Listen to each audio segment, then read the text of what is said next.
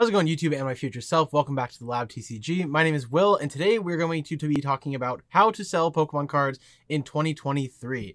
Now it's been about six, seven months since I made the last video about this topic. It was titled How to Sell Pokemon Cards in 2022. So if you do want to check out an outdated version of this guide, feel free to go and check out that video. I'll go ahead and put it in the cards up here if you'd like to check that out. But it is 2023 and it's time for an updated way to sell Pokemon cards. We're going to be talking about some of the basic skills that I think you need, or at least things that will jumpstart your ability to sell Pokemon cards correctly or make some money doing so. We're going to talk about how I would recommend a starter sells Pokemon cards, and then we're also going to talk about how I sell Pokemon cards, in addition to some of my fundamental beliefs around this topic, how I think people should be operating this business, so that not only are they profiting for themselves, but also making customers happy at the end of it. So if that's what you're here for, you want to know how to sell Pokemon cards, you're in the right place. And the rest of my channel has tons of other educational videos on very specific topics like how to ship and package cards to more broader topics like how to sell on eBay. So if you're in the right space for Pokemon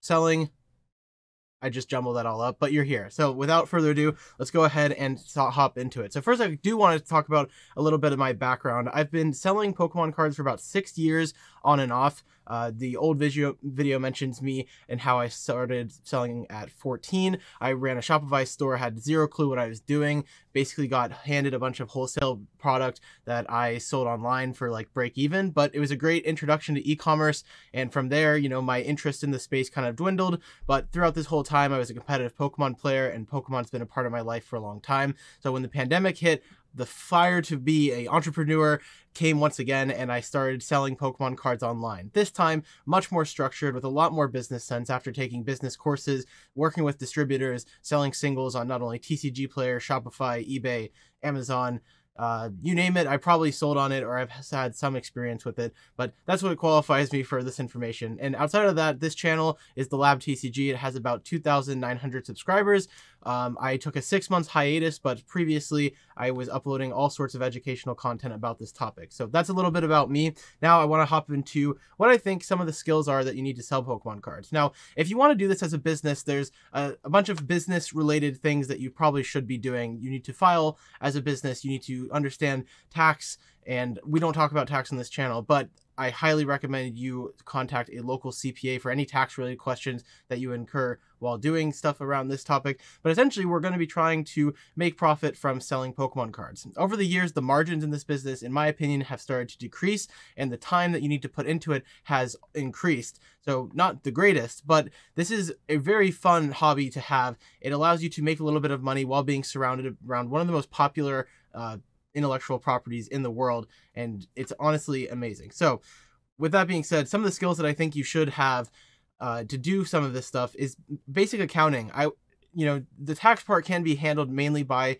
a CPA, but you do want to have some understanding of what's actually going on on the back end of all of that stuff. So take an accounting course online or look up a few YouTube videos on basic accounting. I think one of the most common questions that comes out of the Discord server where people talk about all this stuff is related to accounting and how different things are expensed or how things work like that. So I would pick up some accounting skills.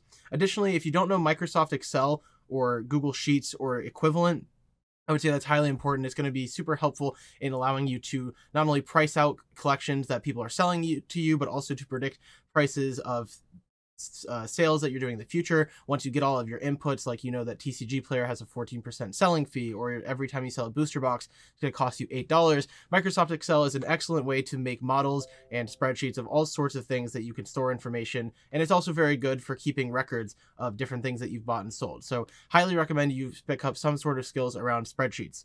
Um, additionally, customer service is a big one you will experience returns, you will experience complaints. Even if you were to run a perfect business with business cards and branding and you know, you refund every order that comes through with an issue, inevitably you're going to need some sort of customer service because people are they can be mean and I've been doing this for long enough and I've had enough complaints even though I try very hard to make sure that my end customer is happy. It does happen and being able to navigate those situations and knowing what levers to pull, whether that's, you know, escalating to TCG player help or eBay help or bringing in second opinions, it's really important to have customer service skills. The last skill that I want to briefly touch on is actually going to be operational efficiency. Now, this is something that I think you can learn, but I would definitely study how some of the other businesses work in the world, see what they do that makes them different. Because, in my opinion, in the year 2023, it is extremely important that the Pokemon business is as streamlined and optimized as possible and I have various experience with operations like jobs, and I think that that's taught me a lot in how I run my business, how things are set up, making sure that things are as simple to do. You know, when you're setting up a, a workflow station for shipping, you know that you should have stuff flowing in one order. At least that's how I think you should do it, because that way you're not duplicating steps. You're not going from one station to the next station and repeating and mixing up all the stuff. It's just one simple flow. You have your, you know, your you pick your card over here, you add all your steps in between, and then you ship it here, and it's gone. So I, I would study other businesses. There's a lot of extra stuff that you can do to really up your game in this space, and YouTube is an excellent place to learn that stuff from stuff that isn't actually Pokemon selling. If you need Pokemon selling tips, this is a great channel to learn from. There's also tons of other Pokemon business channels that are out there for that. So enough of the boring stuff out of the way. Let's talk about you as the viewer and how you can start a Pokemon business in 2023. Now, I would break this down into a bunch of platforms. Now, if you don't know what I mean by platform, there's essentially marketplaces and stores and different things like that that you can actually sell on to sell your Pokemon cards. You can sell Pokemon cards that are worth a penny. You can sell Pokemon cards that are worth upwards of $10,000. You can sell sealed product. You can sell anything Pokemon related on these platforms. And in my opinion, the biggest ones that are worth talking about are going to be TCG Player, eBay, Amazon, Shopify. Now, these four are all platforms that I have experience on selling. They all have their pros and cons. And for this video, we're, we're mainly going to be focusing on TCG Player, eBay, and Shopify.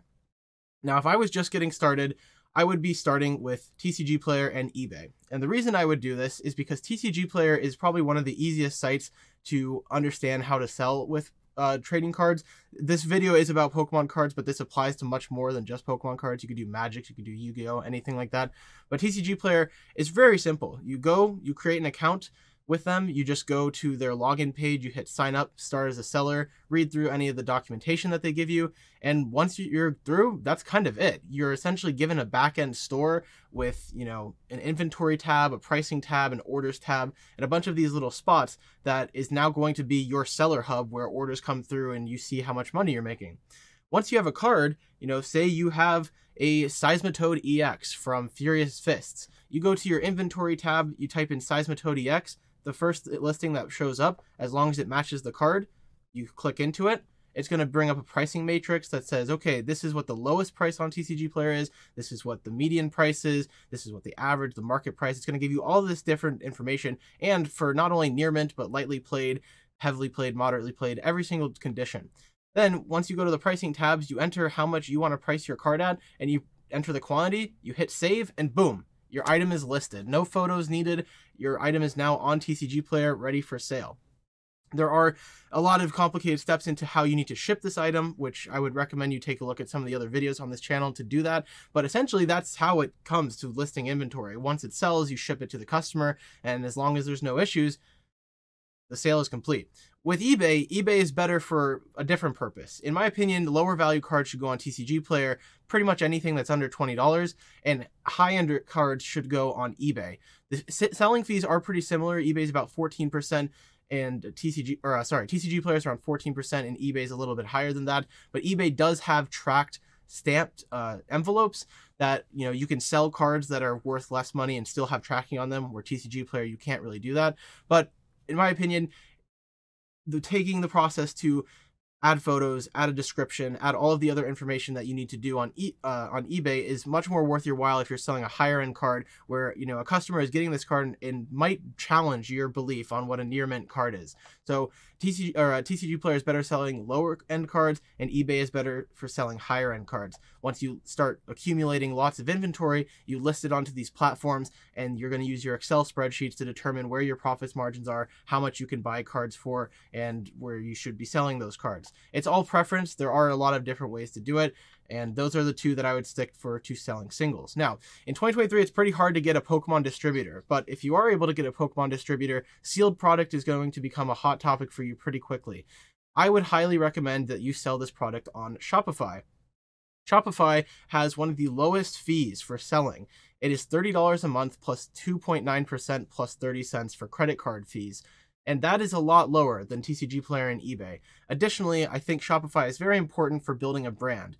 When you build a brand, you don't you should be spending money on marketing, but if you upload social media content, you have a YouTube channel, you post on Instagram, you can actually attract customers for free without marketing, which at that point, the effort that you put into what you are promoting becomes the time and money spent, and you can convert customers without paid marketing. I've actually converted 99% of my Shopify customers through this YouTube channel and have not spent a dime on marketing in the traditional sense of like Facebook ads or Instagram ads or anything like that. So you could argue I've spent money on the YouTube channel, but as far as actual paid marketing, this YouTube channel has converted 99% of my Shopify customers. So I would highly recommend that you use Shopify for all that stuff. It's important that you also create value for your customers when you're doing this. Make sure that your items are packaged nicely, shipped safely, that when a customer has an issue, you're addressing it attentively and you are always there to help because at the end of the day this is a passion project and you should be putting that passion towards your customers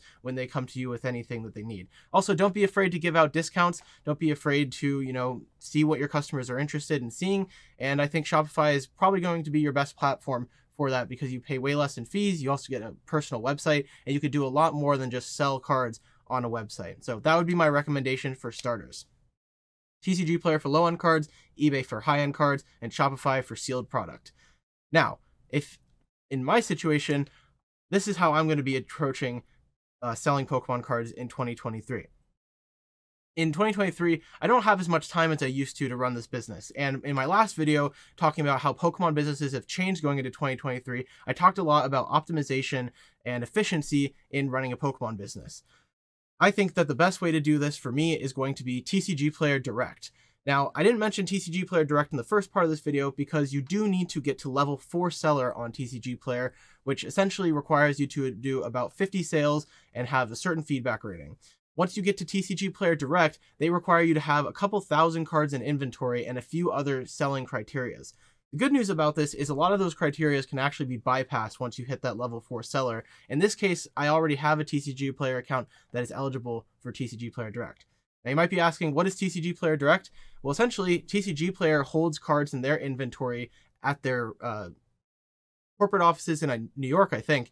And when you say you want to list a card that you have, you have this Seismitoad EX, for example. When you list that through TCG Player Direct, it's actually the TCG Player location that is selling and shipping that card. You are then restocking TCG Player with your inventory once that card sells on your behalf.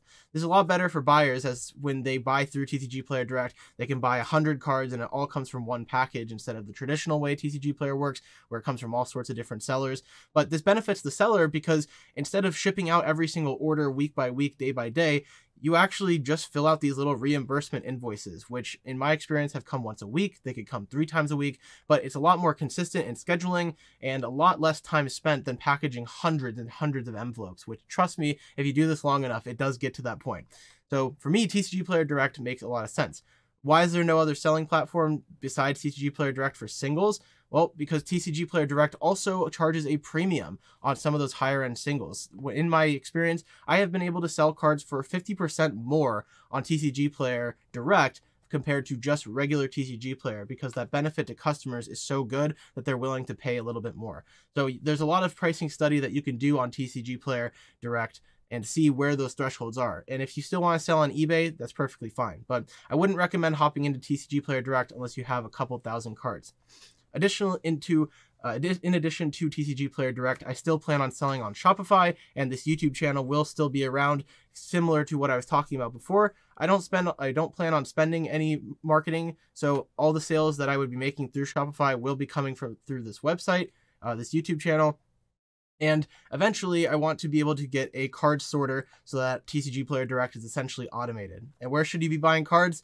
Local is the best way. It's the least amount of fees you can pay in cash, and I think that buying locally is the best way to do it. So, that's going to conclude this video on how to sell Pokemon cards in 2023. If you have any comments, please leave them below. We covered a lot of information in this video. If you want to dive deep into any of the specifics that I mentioned in this video, please check out the other videos on this channel as they dive deep dive into every single topic that was just discussed. So, without further ado, thank you guys so much for watching. Have a great night, and I'll see you all next week. See ya.